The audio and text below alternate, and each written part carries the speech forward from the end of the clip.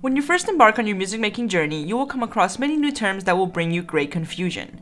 Picking out your first keyboard can be a tedious task if you don't know what it is you're looking for. Hey guys, my name is Jade Wii, and in this video I'm going to be talking about the main differences between a synthesizer and a MIDI controller. So funny story, my first piece of hardware was actually the Arturia BeatStep Pro. I watched a bunch of videos by Nick Batt from Sonic State, and you know, he had other stuff on the table, but whatever, I was focused on the BeatStep Pro. I get home, I'm super excited, I unbox it, I plug it in, I turn it on, and then I'm like, wait, this thing doesn't make any sounds. It's funny to look at it now and laugh. Back then, I wish that the person in the music store would have explained things a little better, but as sad it is to say, you can't really depend on a lot of music store employees to be knowledgeable about all this hardware stuff. This is something that you kind of have to teach yourself. So I wanted to make this super beginner friendly video on this subject and hopefully it'll help somebody out. Quick shout out to our sponsor, DistroKid, the easiest and fastest way to get your music on all the major platforms. Use the code below and get 7% off your first year membership. Number 1. MIDI controllers don't make any sounds. It's all in the name, controller. They're meant to control something. It's also important to note that not all MIDI controllers are created equal. For the past decade or so, manufacturers slowly stopped adding 5-pin MIDI to their MIDI controllers. This was mainly because virtual instruments kinda took over the music making industry. People went from racks of gear to a laptop, VSTs, and a MIDI controller. This is still a very acceptable and powerful setup, but there's just something about having a real instrument that makes the music making process more enjoyable. An easy way to tell which type of keyboard you have is to look at the back of it. On synths, you'll find an audio out. That's how you get sound out of your keyboard into your interface or mixer. MIDI controllers don't have an audio out because again, MIDI controllers make no sound. You'll sometimes find a sustain input on them though, which is useful. Pick up a sustain pedal and you got yourself a tiny piano. Fast forward to today and synthesizers are more popular than ever and companies are slowly starting to add 5-pin as the standard again, alongside USB, which is great news. So let's talk MIDI. I think it's important to understand what MIDI is not. MIDI is not sound. MIDI is data, more specifically, note data.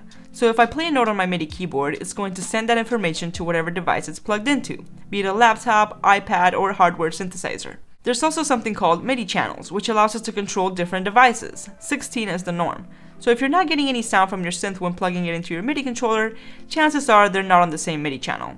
You should refer to your device's manual to figure out how to change the MIDI channel. This varies by device. So this and this are technically doing the same thing. They're both sending note data. I prefer 5-pin because it allows me to work with hardware synthesizers and daisy chain if need be. I made a whole video about how to sync your synthesizer setup using MIDI, so check that out if you haven't already. Something special to know about USB MIDI though is that certain manufacturers have included the feature of sending audio through USB.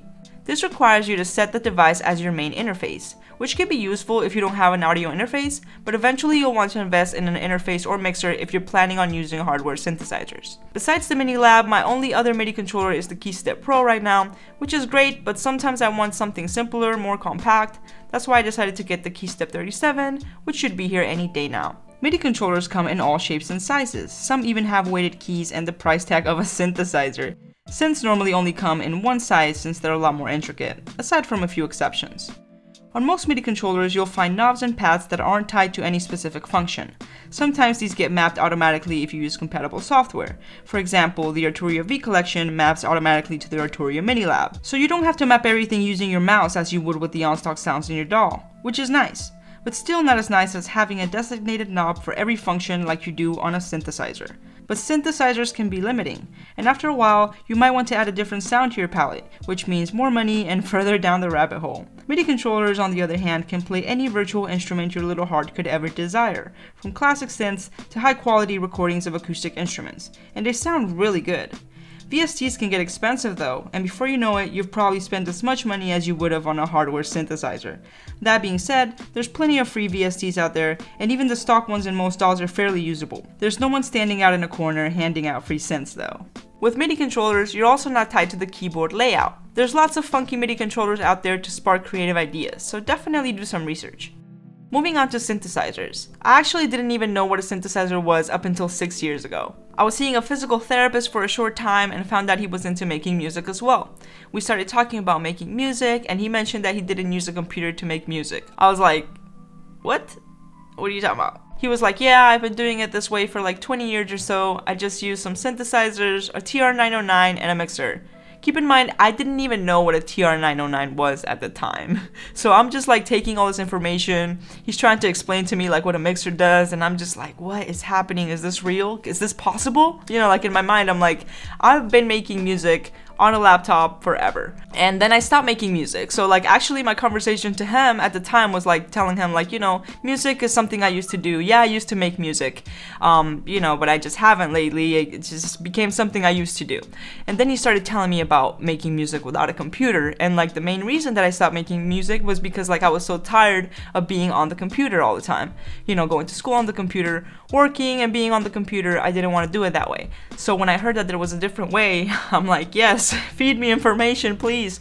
I went home that day and just started looking for things about synthesizers, and anything that would get me closer to making music without a computer. Sadly, there wasn't just one simple answer, so I spent months doing research, trying to figure out my setup, trying to figure out what a mixer does, what monitors do, what everything does, what is a synthesizer, um, and this is kind of how we got here. So thank you, I think his name was Dean, thank you so much, you changed my life completely wherever you are. So synthesizers make their own sounds. Synthesizers aren't dependent on anything else, the sounds come from within. There's analog synthesizers that make the sounds with analog analog circuitry, and then there's digital synthesizers, and FM synthesizers, and wavetable synthesizers, so many different types of synthesizers. It's really overwhelming at first, but I think something important to remember is that at the end of the day, the synthesizer is still a keyboard, and if you're not good at keys, you're not gonna get very far. So definitely focus on learning how to play keys as your main thing, not just buying synthesizers. Please learn to play keys before you buy, compulsively buy compulsively take over your life. So do yourself a favor and invest some time on learning how to actually play keyboard before you just go out and start buying a bunch of synthesizers. So the cool thing about synthesizers is that not only can you use them with their internal sounds, but they're also a MIDI controller. Most of the time they have MIDI in and out.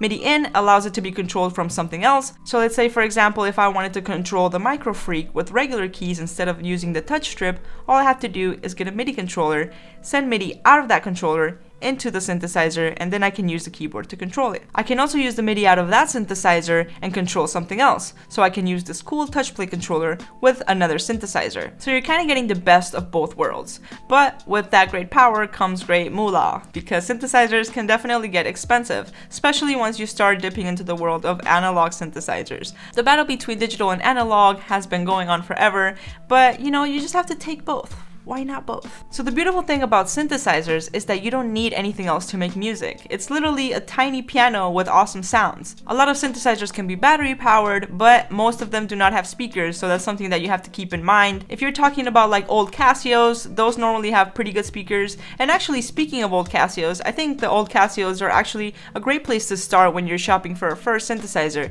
because you can find them fairly cheap used sometimes at like thrift stores or online. People sometimes have them and they don't know what they have. Sometimes you can find some very good deals on some very rare stuff. So just keep an eye out. They also sound really amazing for what it's worth. And as you can see, I have quite a collection of Casios in the background. So if you are gonna go with an old Casio, you are sacrificing the MIDI controller capabilities of it. You'll mostly benefit from old Casios if you're a good keyboard player and don't need MIDI, or if you're really gonna invest time into learning how to play keys. It's a great grab and go synth definitely check out some old Casios if it's something that you're getting into. So if you're thinking about using a MIDI controller to control your VSTs and you really want to focus on that, that's the way to go. If you're going to be recording more audio, I think synthesizers is really the way to go. I think audio is more permanent.